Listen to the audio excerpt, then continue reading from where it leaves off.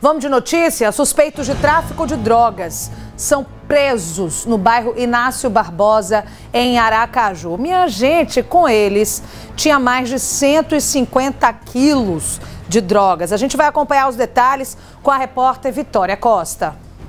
Três homens foram presos suspeitos de tráfico de drogas em uma ação policial comandada pelo Batalhão de Rádio Patrulha. Durante essa mesma ação, também houve a apreensão de mais de 150 quilos de maconha e também uma quantidade de cocaína. Esse fato aconteceu no bairro Inácio Barbosa, na zona sul de Aracaju. Segundo o que foi divulgado pela polícia, a equipe fazia aquele patrulhamento de rotina tradicional pela região. Quando os policiais perceberam que um carro estava parado e havia uma motocicleta ao lado, no qual esse homem estava recebendo uma sacola. Diante dessa situação suspeita, a equipe policial se aproximou.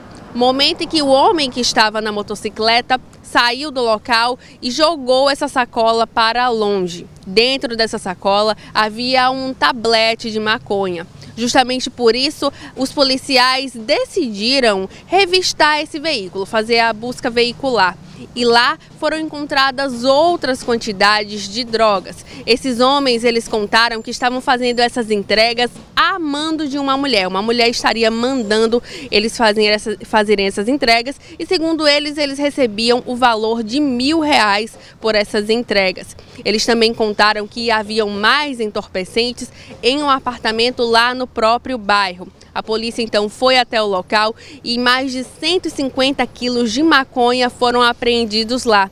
Os policiais também encontraram aproximadamente 450 gramas de cocaína e também uma prensa hidráulica.